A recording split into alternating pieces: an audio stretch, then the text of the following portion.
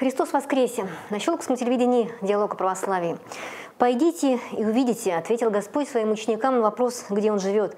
«Пойди и посмотри», — сказал апостол Филипп своему другу апостолу Нафанаилу, когда встретил Господа. «Пойдите и посмотрите» или «приди и вижте» на церковнославянском, говорит и нам всем православная церковь, призывает, призывая познать истину и жить ею. О богопознании мы сегодня поговорим.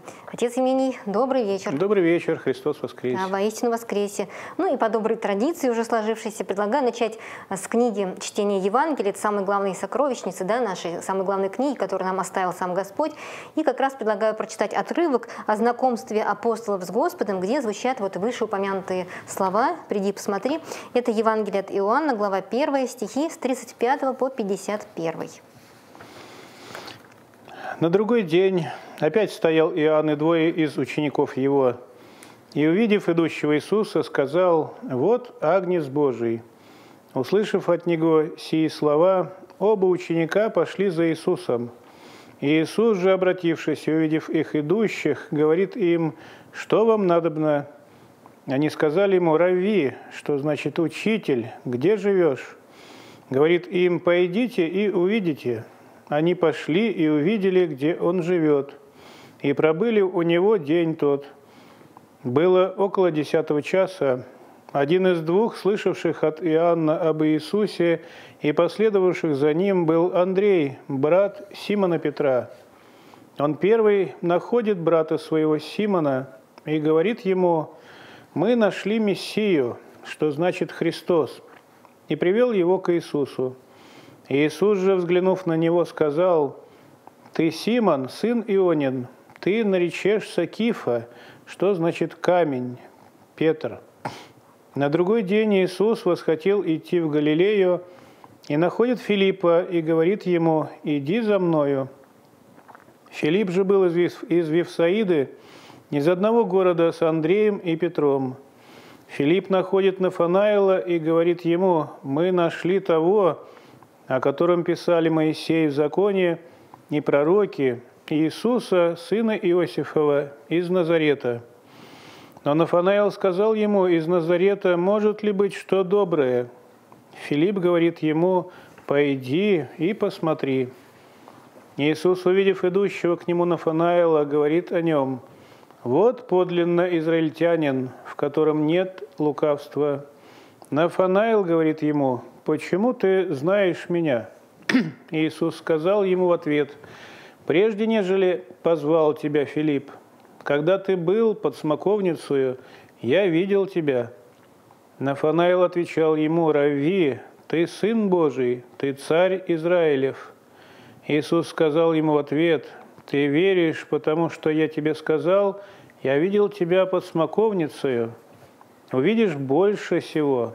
И говорит ему, «Истинно, истинно говорю вам, отныне будете видеть небо отверстым и ангелов Божиих, восходящих и нисходящих к Сыну Человеческому». Да, ну тут много, наверное, может быть, вопросов, вы нам потом растолкуете. Но, как мы видим, да, знакомство апостола с Господом начинается с призыва следования за ним. Да? Почему Господь не доказывает, что-то рассказывает, а говорит, идите и смотрите? Ну, действительно, это э, несколько странно. Мы-то привыкли, как, вот если нам кто-то что-то предлагает – то мы начинаем спрашивать, а что, а почему, а для чего, а зачем. И ждем, когда нам что-то докажут, что-то объяснят, что-то уговорят нас в конце концов. Здесь Господь никого не уговаривает. Он просто говорит, идите и смотрите.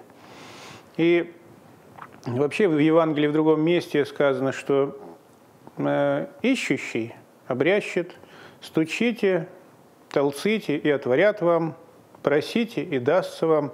То есть во всех этих моментах мы видим, что Господь призывает нас к действию. Не просто сидеть как зритель и ждать, когда тебя уговорят, когда тебе разъяснят, когда тебе все, так сказать, покажут, расскажут, а тебе только останется выбрать. То есть мы бездействуем в этой, в этой ситуации, мы ну, такие потребители становимся. А когда мы сами идем и смотрим, мы действующее лицо во всем этом э, происходящем с нами действии Божием.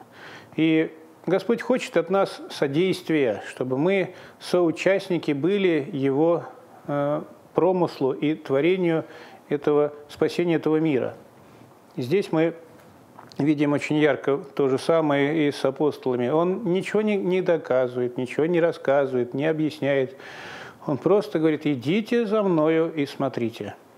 И действительно, э, апостолы так и делали, как это неудивительно. Вот, но Нафанаил, пожалуй, только Нафанаилу Господь э, некоторым образом показал убедил его идти за, за собой, потому что он стал задавать вопросы, а почему, э, собственно, ведь из Назарета не должен прийти Мессия, то есть почему он задал этот вопрос? Может ли что добрый быть из Назарета? Потому что по пророчествам Мессия Христос должен прийти из Вифлеема, от Вифлеема иудейского родится Спаситель мира.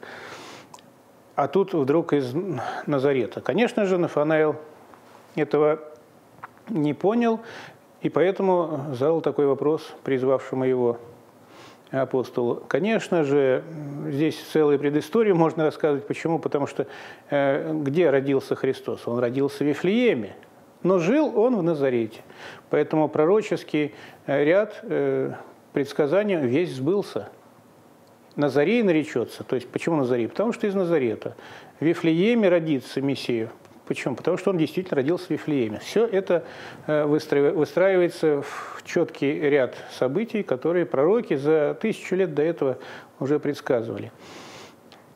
И только здесь Господь ему разъяснял и, можно сказать, переубеждал. А остальных он просто призывал. Как и другим апостолам, ну, Матфею, например, э, мытарю, да, он сказал, иди за мной. Все, он оставил свою мытницу и пошел. Ничего не задавал, никаких вопросов, ни, э, никаких моментов, связанных там, а куда, от чего, зачем. Поэтому и от нас Господь требует э, соучастия, содействия. Э, мы должны ну, проявить свой интерес, мы должны проявить свое э, внимание к Божьему произволению о нашем спасении через какие-то действия, через какие-то шаги, через какой-то ну, интерес хотя бы. Потому что если нам не интересно, а ты вот нас убеждай, а мы вот позевывая будем, ну, может быть, что-то рассматривать. Ну, апостолов, видимо, наверное, почва была сердце подходящее, да? То есть они, видимо, искали Господа, и вот это уже как ключевой отправной точкой стало такой. То есть они уже были э, Вот эта фраза, вот эта фраза Нафанаил я видел тебя, когда ты сидел под смоковницей, почему она так поразила Нафанаила? В Евангелии об этом не сказано, это сказано в других э, толкованиях на Евангелие.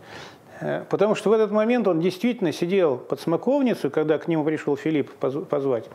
Он сидел под смоковницей и размышлял, думал как раз о Спасителе мира, о Мессии, когда он придет, как он придет, куда он придет, как он будет выглядеть, как его найти. То есть он э, уже внутри себя искал Спасителя. И этих мыслей никто, кроме Господа, не знал. Конечно же, никто, только Нафанаил и Господь. И почему он так и воскликнул? Ты, Рави, ты он, Сын Божий, ты царь Израилев. Только потому, что он сказал, какие мысли у него были за там, полчаса до встречи со Спасителем. Это, конечно же, очень важно, и Здесь эту мы видим как раз картину, как Господь к каждому из нас относится бережно и не нарушая нашей, нашего выбора, нашей воли. Мы должны, э, э, так сказать, произвольно согласиться с Божьим промыслом о нашем спасении, и тогда Господь нас будет спасать. А если мы будем сопротивляться этому, или лентяничать, или равнодушными быть, нас невозможно спасти. Мы просто будем совершенно индифферентными да, к э, делу нашего же спасения. То есть нам это неинтересно. Но если хочешь, говори.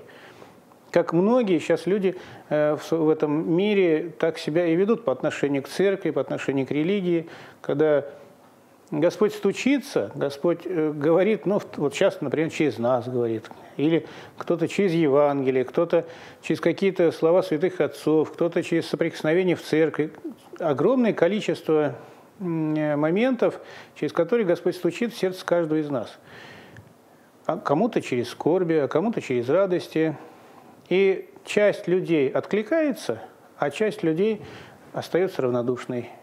Ну да, ну что-то было, да, конечно. Ну я-то занят, мне надо то, то, то. Ну когда мне этим заниматься? И мне надо на работу, мне надо на семью, мне надо еще, опять же, все по Евангелию. К сожалению, вот царь мира нас призывает, а мы кто-то валов испытует, кто-то на рынок идет, кто-то там с женой остался, кто, кто где, кто как но только не с Богом, к сожалению. А почему да, вот так, вот так многим людям религия кажется вообще необязательным, да, в чем-то ограничивающим в свободе, в правах, да, скажут, вот там постоянно поститься, что-то надо делать, себя принуждать. Почему, вот, почему такая позиция не верна? Почему люди вот считают, что религия это не обязательно?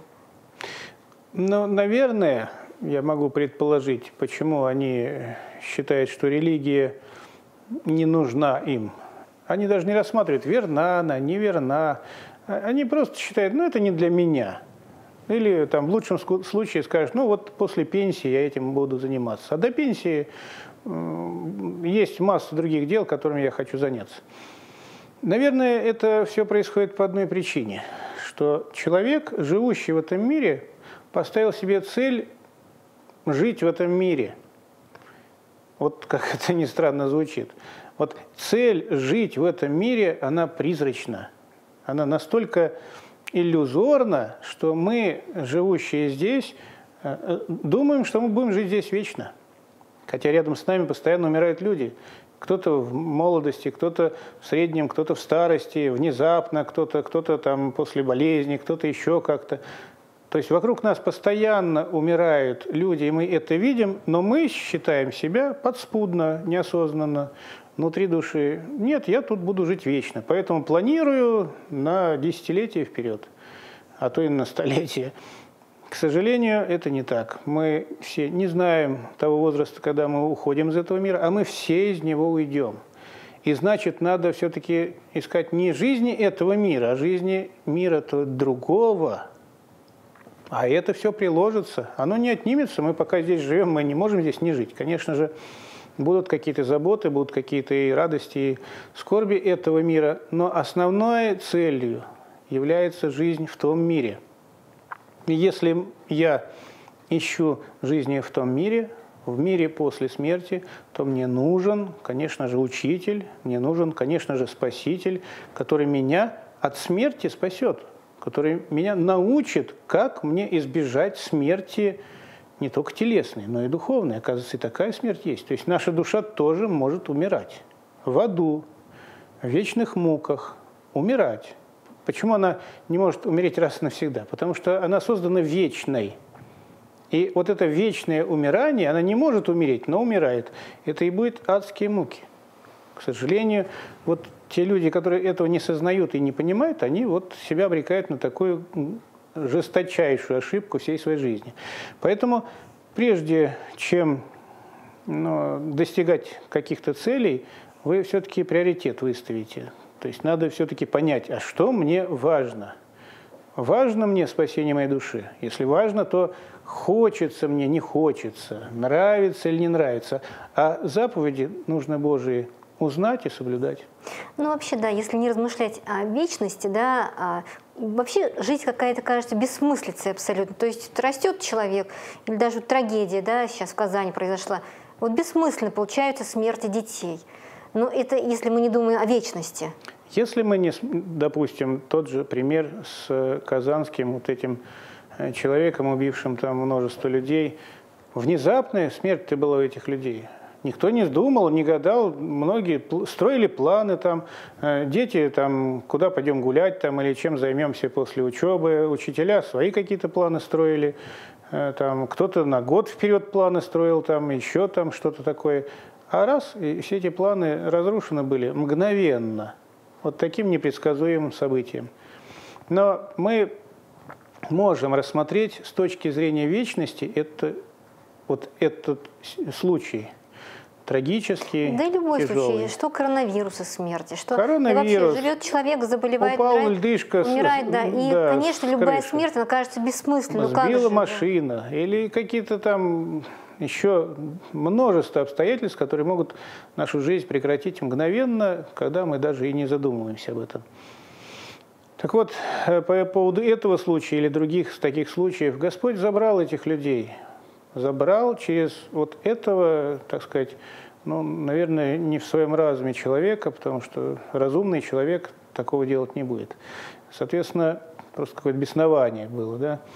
И, соответственно, почему он их забрал?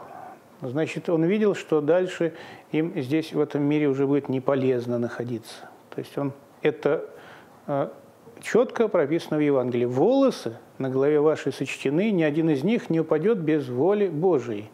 И здесь не то, что волосы, тут просто смерть. Значит, было попущено Господом вот этому всему произойти. Почему? Я думаю, это в каждом отдельном случае, индивидуальном, будет четкое объяснение, почему этого Господь забрал человека, а вот этот остался жив. Ведь там под партами пряталось множество детей, но кого-то постигла смертная участь, а кто-то живой остался. Вот выбор. Да, да, и кроме того, ведь, ведь сейчас же пасхальные дни, да, у Господа, если на Пасху ходит человек, это же особая привилегия, да, и мы же не знаем, что происходило. Может быть, там те же учительницы, может быть, они с собой загораживали, да, детей, и да, это жертва да. Господа, они сразу идут в Царство Небесное. Да, тот человек, который своей жизнью так сказать, пожертвовал ради спасения других жизней, конечно, Господь это оценит и спасет такого человека. Поэтому здесь мы можем рассуждать только вот по-мирски, если мы в миру живем.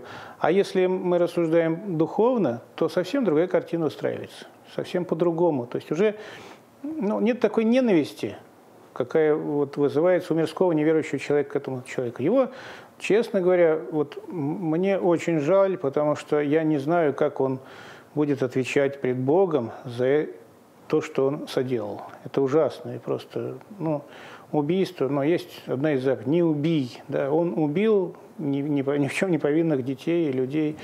Как он за это будет отвечать, я не представляю.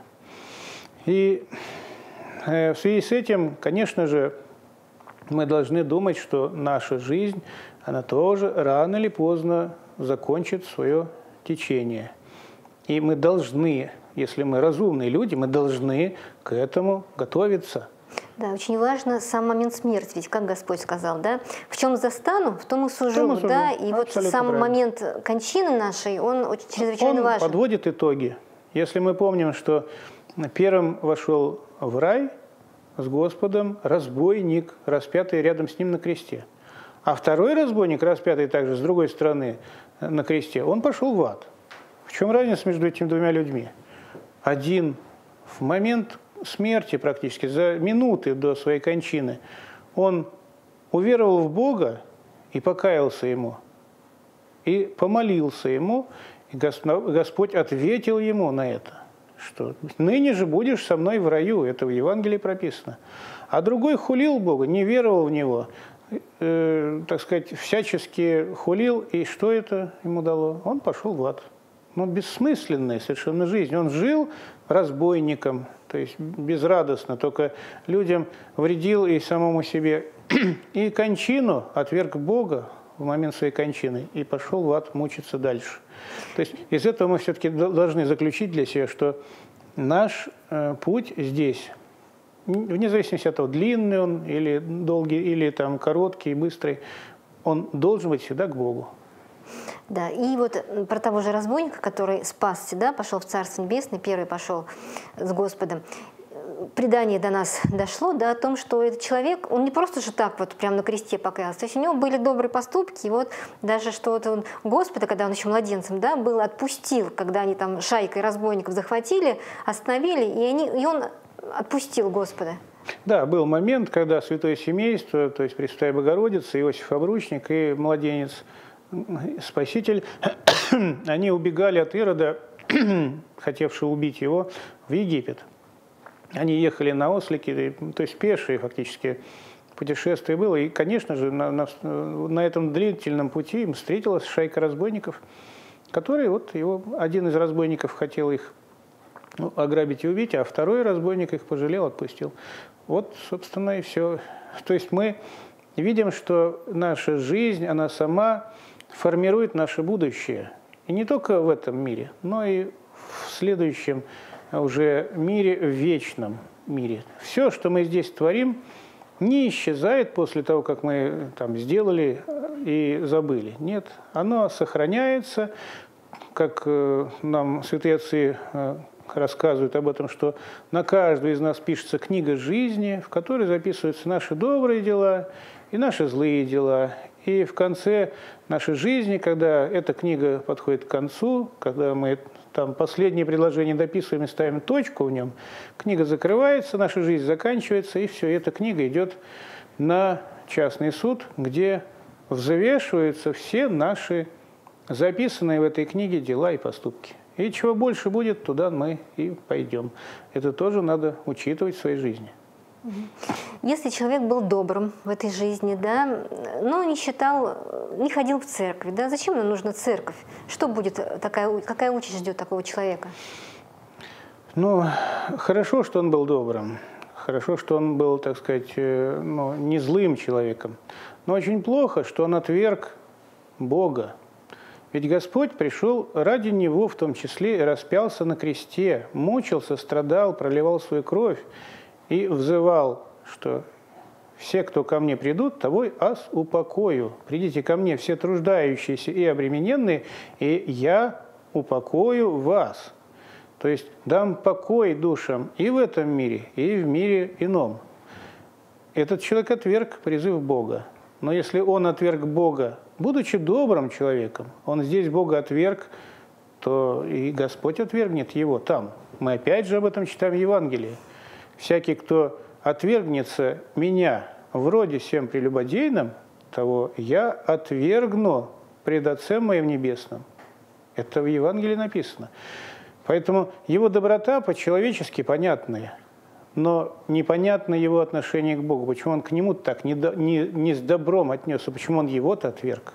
Да, и в Евангелии тоже есть слова, да, что Господь прям нам сам говорит. И мы уже говорили неоднократно, что лекарство от смерти – это наше таинство причастия, мы причащаемся. Еще есть слова в Евангелии, когда Господь говорит о том, что человек уже сейчас имеет жизнь вечную и на суд не придет, который верует в Господа Иисуса Христа.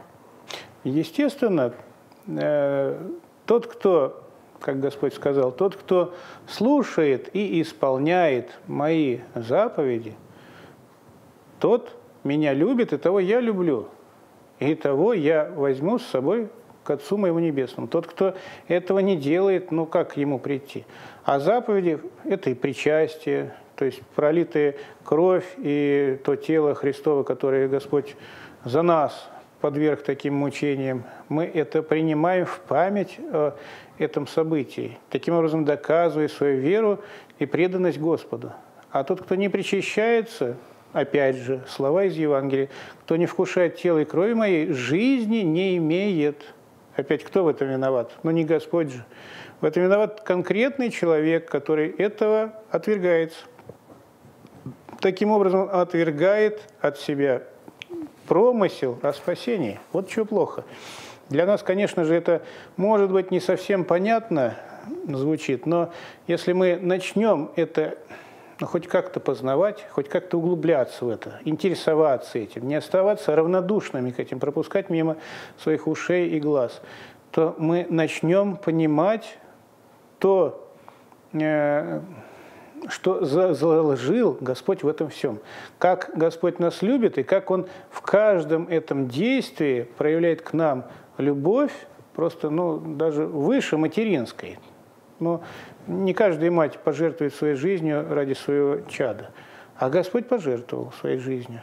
И здесь мы, ну, сколько сейчас э, женщин делает аборты, как говорят, по медицинским, э, так сказать, основаниям. Ну вот медик кто-то посмотрел, говорит, ну вам не, лучше вам сделать аборт, не рожать, потому что там здоровье может испортиться.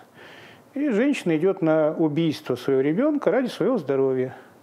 А Господь вот пошел на смерть ради нашего здравия духовного. Вот это надо тоже понимать. И мы, конечно же, должны ну, как-то вот ответить на эту любовь к нам, грешным. Как ответить? Верою, любовью и делами. То есть исполнением тех заповедей, которые Господь нам здесь оставил в Евангелии, в посланиях апостолов и в церкви. Можно ли Господа познать разумом? Вы знаете, разум человеческий ограничен. Ну вот как стакан, да? Вот можно в стакан влить ведро воды? Нет, потому что есть ограничение, объем маленький.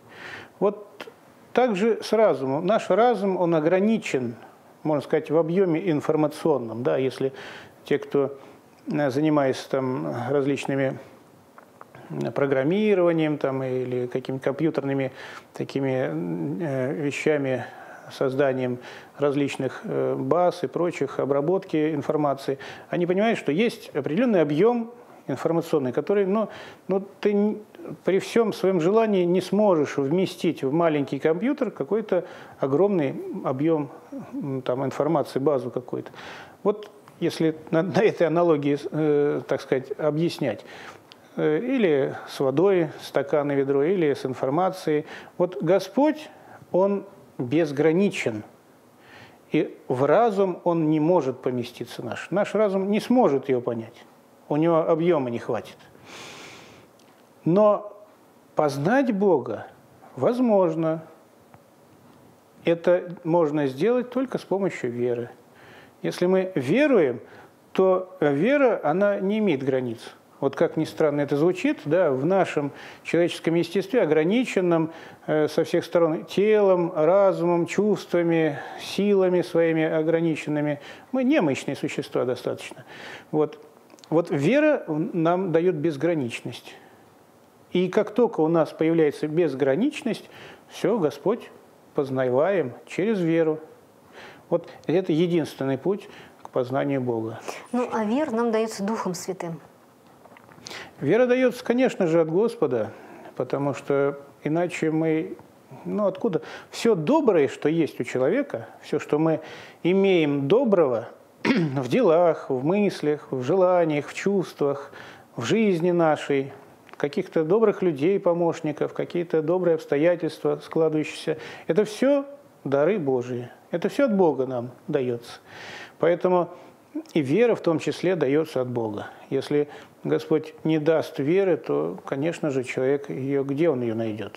Она настолько э, тонка в своем естестве, что ее ни через разум, ни через какие-то чувства невозможно приобрести. Но, тем не менее, для того, чтобы нам помочь вот, э, э, в укреплении веры, Господь нам дает как бы таких две огромных книги.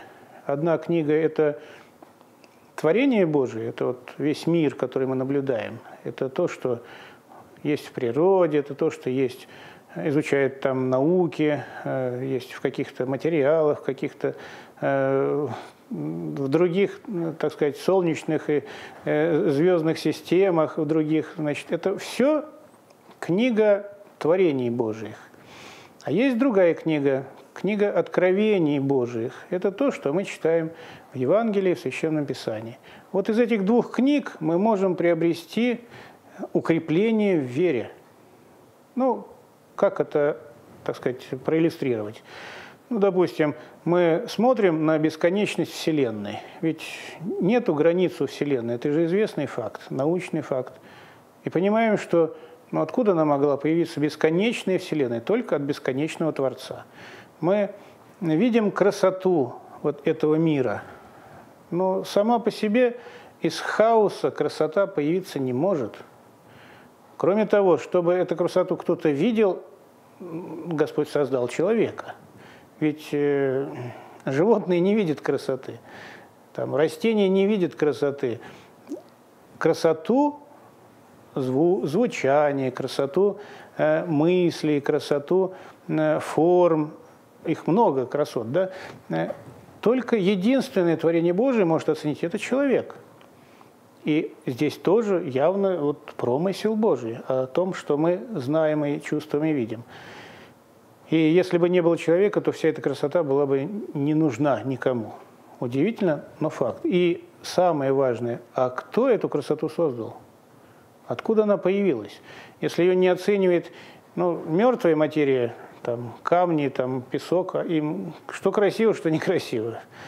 Э, э, растения, у них даже органов чувств нету, чтобы познать эту красоту. Животные, у них нету внутренних, так сказать, познавательных моментов, но разумной души нет у них, да, которые могут, опять же, эту красоту познать. Это есть только у нас. Это для чего тогда эта красота создана? Только для нас. И из этого мы тоже видим, что есть источник красоты сам Господь. И если он, его творение так, так красивое, то как, какой красоты сам Господь тогда? Потому что по творению мы можем познать Творца. Если красивая картина, то и Творец этой картины красивый. Если красивое стихотворение, то и Творец этого стихотворения тоже красив. Ну и так далее. Здесь не, не стихотворение, не картина, не какое-то изделие рук человеческих. Здесь Вселенная создана. Очень красиво. Да, то есть от нас зависит одно – желание. Да, возвращаемся к началу. Если мы желаем найти Бога, уверовать э, и э, понять, то мы этого достигнем. Опять же, по тем словам, которые я уже говорил. Цитату из Евангелия «Ищите и обрящите, стучите, вам отворят». То есть это все э, сам Господь нам сказал. Поэтому мы должны желать, мы должны действовать, мы должны искать. Ищите и обрящите. Если мы этого ничего не делаем, да как бы не было красиво, да, мне все равно. Да, ну а потом уже более совершенно, да, то есть начнем с познавания там словословия Господа, да, за творение все, за звезды, за небо, за те же жучки-паучки, там, как они шевелятся, непонятно, неизвестно, как глаз наш да. смотрит и все остальное. Да, да, это по-прежнему неизвестно да. науке. Изучаем Священное Писание, Евангелие, да. Следующая книга, то есть первая книга, это, можно сказать, для детей азбука, можно сказать, книга творений Божьих, это азбука. А вторая книга уже для взрослых, людей, которые пытаются познать Бога, там разъясняется более подробно, более э, ярко и осмысленно э, само существование Бога, сам промысел Божий об этом мире, само внутреннее, так сказать, э, как сказать, даже ну, родственность нашей души и Божьей, потому что Господь нас сотворил по своему образу и подобию. Значит, мы Его дети, то есть в нас есть что-то, что очень э, похоже, роднит, роднит да, нас. и роднит нас с Богом. Конечно же, где это? В природе? Нет, это уже в Священном Писании, в другой книге. И там мы это находим во множестве. Ведь нам, э, э, ну, кто отрицательно относится к любви? Ну как же, ну любовь это же высшее из чувств. К надежде, к вере, послушанию, к доброте, к милосердию, а это все я перечисляю качества божественной природы. Которые тоже невозможно объяснить логически. Их нету в логике материальной. То есть с помощью инстинктов это не объяснить. С помощью э, законов там, физики, химии там, или математики не объяснить это. Это можно объяснить только с помощью высшей духовной э, жизни. Только оттуда это все приходит к нам. Ну и, соответственно, если это есть у нас, то у Бога это, конечно, в степени. Он источник этого. Мы лишь носители, нам это только даровано, а источник всего этого Господь. Ну, мы читаем в Евангелии, Бог есть любовь, да, в Священном Писании.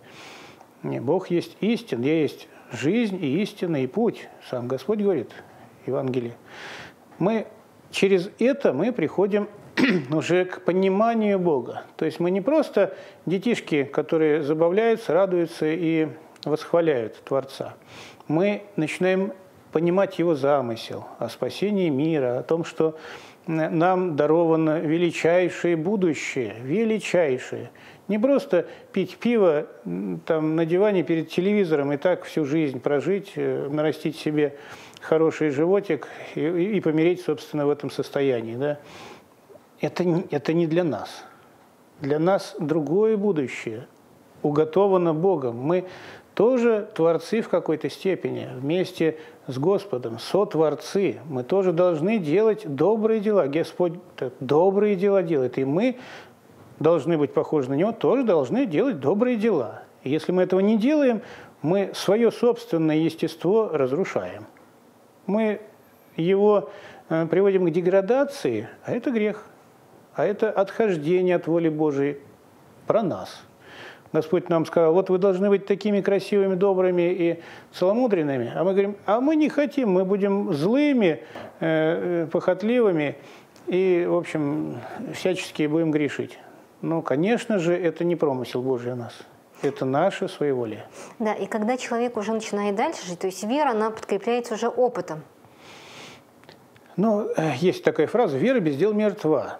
И, конечно же, э, верить необходимо, но недостаточно. В математике есть такая фраза э, «условие необходимое, но недостаточное». То есть вера должна быть подтверждена делами, то есть благочестивой жизнью. Если мы не имеем добрых, благочестивых поступков, то значит и веры у нас нет. И сам Господь говорит об этом, что кто меня любит? Тот, кто соблюдает мои заповеди, мои слова. А тот, кто не соблюдает моих слов, он меня не любит. Он не слушает меня. А всех, кого мы слушаем, конечно же, мы их любим. Ну, или боимся, да, вот есть как бы два критерия. Можно под страхом что-то делать, не хотя того. А если не, из, не из-под палки, так сказать, не из-за страха, то тогда по любви. И здесь мы либо рабы Божии из-за страха, либо дети Божии из любви. То есть вот вы сами выберете, в каком вам, э, так сказать, состоянии лучше, и так и живите. Да, кроме того, хотелось бы отметить, да, что глядя на жизнь мучеников, которые полагали жизни за Господа, да, шли добровольно да, на расстрелы, нам, там, на все остальные всякие мученичества, на жития святых отцов, да, они же не просто вот прочитали вот и там разум, то есть у них жизнь уже опытно подтверждается, то есть они проживают и они видят тот невидимый мир, да, они ни в чем не сомневаются. То есть человек, вот я хочу сказать, что человек не просто он разум, да, постигает священное писание, но появляется изменяется какие естество. Да, какие-то случайности вдруг неожиданно у него появляются, да, у человека, и он уже опытно подтверждается, он встречается с святыми, и ему уже никто не может ничто сказать, он все равно уверен и убежден, вот, вот духовное зрение появляется у человека. Знаете, вот недавно читали в мы «Жития святых», один из преподобных, преподобных отцов творил много чудес, э, и одно из чудес он ходил по воде. И вот потом к нему отцы после этого э, подошли, говорят, а что, что ты чувствовал? Он говорит, ну я чувствовал, что вот по щиколотку мои ноги в воде, а дальше твердые. То есть э, человек, который прошел по воде, аки посуху, воду все-таки ощущает. Но для того, чтобы это сделать, нужно измениться, как апостол Петр. Он настолько поверил Богу, сказал, Господи, если это Ты, а я в Тебя верю, Ты мне прикажи прийти к Тебе по воде. И Господь ему сказал, иди. И он пошел. Это уже изменение естества, это уже другое, не, не человеческое, уже божественное что-то начинает действовать в нашем естестве и жить в нас. И, собственно, к этому Господь нас призывает, чтобы э, мы жили в Боге, а Бог жил в нас. То есть вот это вот такое совместное проникновение было с, э, Господа с нашим человеческим естеством. И Он это сделал, когда очеловечился, когда принял на себя человеческое естество. А нам дает так как он не может нам это навязать да, силой, он нам дает по нашим желанию. Вот вам мое тело и кровь. Хотите, чтобы я проник в ваше естество? Причащайтесь моим телом и кровью. Тогда я буду в вас, а вы будете во мне. И тогда вот эти все моменты, связанные с тем, что, а как-то, ну, конечно же, можно мучить, можно там стараться переубедить, можно еще что-то, но, но все равно Бог есть. Вот как не, не режьте, как не, не убиваете, как не э, как-то по-другому искушаете. Да, я грешный, да, я слабый, но от этого не изменится мое э, внутреннее соприкосновение с божественным естеством. Оно все равно останется. И это как раз то самое изменение естества, к которому все мы призваны.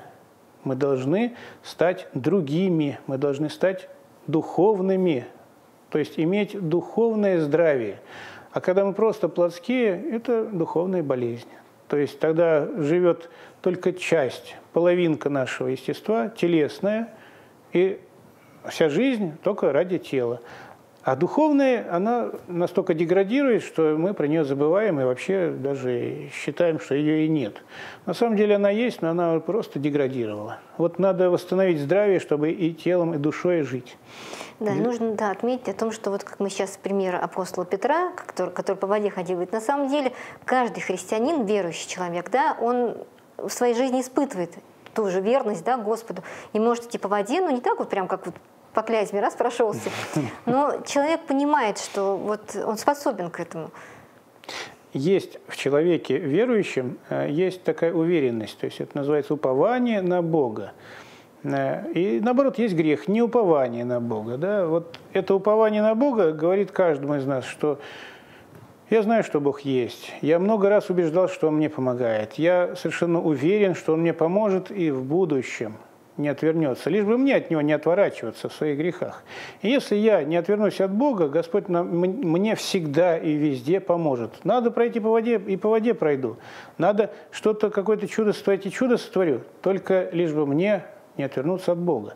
Вот это упование на Бога, оно э, вместе с верою и благочестивой жизнью, оно приходит к человеку внутри него в виде ощущения.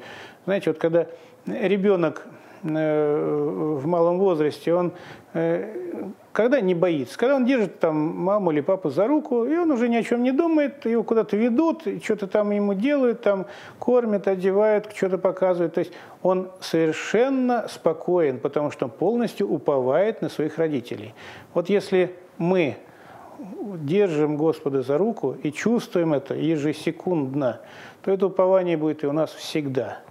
А когда мы хотим сделать какие-то свои неправильные шаги, мы, как правило, отпускаем руку Божию и начинаем что-то делать, как э, ребенок, да, вот э, балуется когда. Он это делает без родителей. При родителях-то стыдно, да, да и боязно, накажут. Вот то же самое и мы, таких же детей напоминаем, мы отпускаем руку Божию и что-то... А сейчас вот, ну вот так, только что я там с Богом был, а сейчас вот я что-нибудь для себя, чтобы, так сказать, ну как-то развлечься, что-то там отвлечься, отдохнуть. Все, вот мы потеряли руку Божию, и тут мы уже ни в чем не уверены, ни на что нам уповать нет возможности. Нам уже и страшно, нам уже и больно, и, и что самое главное, стыдно. Ведь все равно придется к Богу прийти и попросить у Него прощения. Но все равно это надо сделать. Для этого есть таинство покаяния. Абсолютно правильно. Да, как дети мы можем согрешить, отпасть и где-то там ну, нашкодить, да, как это с детьми происходит. Но Господь, опять же, как любящий Отец, Он дает нам возможность, пожалуйста, ну да, ну вот все, я вас прощу, но вы попросите прощения-то у меня. Ну прощения надо попросить. Для этого таинство покаяния. Попроси прощения, Господь тебя простил, все. И опять ты держишь его за руку, опять Господь тебя ведет, и опять у тебя упование, спокойствие души. Ну как без этого жить? Да, для, для чего мы все это говорим? Да? Потому что очень многие люди рассуждают, а что там в церкви делать? Мы вот и передачу назвали «Приди и видишь». Да? Вот прежде чем рассуждать, что там да как, ты приди и попробуй. Попробуй вот вкусить Господа да? и понять, вот, почему люди не уходят, почему люди жертвуют собой, ради чего. Ну, действительно, по крайней мере, вот с некоторыми людьми, которые мне приходилось беседовать, неверующими, они, ну, буквально недавно разговаривал тоже молодой человек из Бауманского, вот с ним беседовал. Он говорит, а как вот вы там инженер, там на Байконур, там, значит, НП энергии, там ракеты, все такое. Как вы вдруг раз и ушли из всего этого и стали там монахом, священником? Вот что сказать? Ну, приди попробуй, ты сам увидишь ради чего. Но если ты оставишь это все просто, так сказать, в теоретическом ракурсе, ну да, а, ну вот он не ответил что-то, да, ну и все. И то, и забыл, про этот ответ и про этот вопрос, ты не сдвинешься с места. Сдвинуться с места нужно идти. Нужно прийти, разобраться, посмотреть и ощутить. Ради чего да, все и это? И для человека открывается солнце, и весь мир кажется уже как при тусклой лампочке, да? То есть то, что вот раньше его интересовало, оно меркнет. А дальше уже идет сравнение, абсолютно правильно. То есть я пришел, увидел, ощутил, Повернулся назад оттуда, откуда я пришел, говорю, так а тут-то лучше оказывается, я туда не хочу возвращаться. Там чего хорошего-то? Там одни страхи, немощи, слабости и человеческие, так сказать, какие-то страдания. Зачем мне туда возвращаться? С Богом-то проще. ну, рядом э, с источником света, добра, любви, тепла, ну, намного теплее, светлее и добрее ощущаешь себя, чем вдалеке от него. Поэтому, когда мне говорят люди неверующие, что-то как, как же тяжело жить, как плохо жить, в этой жизни одно зло, одни вот там препятствия, одни страдания, скорби, тяготы. Я удивляюсь, говорю, как? Ничего, нету ни радости, ни... Да нету, говорит, ничего. Так я говорю, вы, наверное, неверующие? Ну да. И все. Человек ушел от Бога и говорит, что так плохо живется вообще. Так ты вернись к Богу, и будет хорошо житься. Одни праздники у верующих. Да, одних праздников сколько у нас. Это, да. А зависит ли вообще духовное преуспеяние от окружающей среды? Ведь кто-нибудь посмотрит нас, послушает, а, это надо куда-то уходить, там, менять вообще образ жизни. То есть, может, человек в мирской жизни, ну, меняя, наверное, внутреннее какое-то свое состояние, но внешне, там, работа, семья, то есть не бросая. Э, зависит ли, может ли он так спастись? Ну, конечно, может, ведь Господь, Он везде. Но если брать так сказать, библейскую историю, то был Содом и Гамора. Это просто э, исчадие всех человеческих грехов, да, которые Господь потом спалил просто этих пять городов, и от них сейчас только археологические остатки остались от этих городов, вместе с перемешкой с серой, которая на них выпала и сожгла все это. Но там был праведный Лот, и он был спасен Господом, и он жил праведно в Содоме и Гаморе. А другой пример – но те самые 12 апостолов, один из них Иуда, который, вот он видел все чудеса, он присутствовал при воскрешении Лазаря, э, там, сына Наинской вдовы воскрешения, он видел э, бесноватых, исцеляющихся, безглазых, слепых людей, которые вдруг прозревали. Он видел там огромное количество чудес, которые и не перечислить даже во всех книгах мира, как Иоанн Богослов говорит. А что? А он продал за 30 сребреников Господа. То есть рядом с Богом человек жил и не спасся, а Лот жил в Содоме и Гаморе и спасся. Поэтому все зависит от человека, от его выбора. А Господь везде протянет ему руку помощи и спасения. И когда нужно, выведет из Содома и Гаморы. Когда нужно, приведет в землю обетованную, как Лота потом Господь привел вместе с Авраамом в ту землю обетованную, где они жили и, собственно, спасались дальше. То есть мы должны все-таки Бога любить, верить Ему и слушаться Его, и тогда все будет хорошо. Если же мы этого делать не будем, да где бы мы ни жили, хоть в раю. Адам и Ева согрешили в раю и были изгнаны из, из рая. То есть даже в раю мы будем грешить, если не хотим слушаться Бога. И наоборот, если мы хотим слушаться Бога, даже в Содоме и Гаморе мы будем праведно жить. Поэтому и в жизни мирской, и в жизни там, монастырской, и в, в любом э, месте этого мира можно спастись. Да и вообще люди, очень многие даже не знают, чем заняться в этой жизни. Да? И когда человек начинает жить познавать да, и сущность, и жить церковной жизнью, и церковными праздниками, у него появляется да, смысл жизни. Сколько семейных пар да, вот, э, по воскресеньям посещают храм, и потом такую радость и благодать получают. Ну, действительно, в этом мире все заканчивается. Школа заканчивается, институт заканчивается, работа, на пенсию уходит человек, тоже заканчивается. Дети, они тоже вырастают и, как правило, живут не с родителями, и это заканчивается. Внуки тоже какой-то там, э, тоже заканчивается, и сама жизнь заканчивается. То есть здесь нету ничего вечного. Поэтому а вот человеческая душа устроена так, что ей хочется что-то вот что-то было все вот никогда не кончалось. Это как раз Господь, это как раз изучение э, Божьей, так сказать, воли, Божьего естества и Божьих наставлений. Если человек вступает на этот путь, этот путь не заканчивается в вечности. Мы в вечности уходим, изучаем все это. Поэтому, конечно же, э, хотите жить вечности уже здесь, придите к Богу. У нас осталось всего две минутки.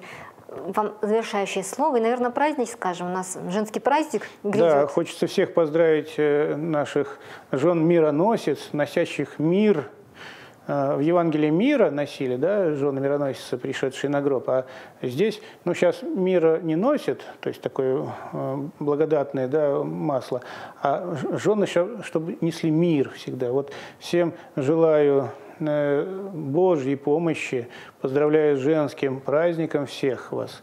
И хотелось бы, чтобы вы почаще приходили к Богу с миром.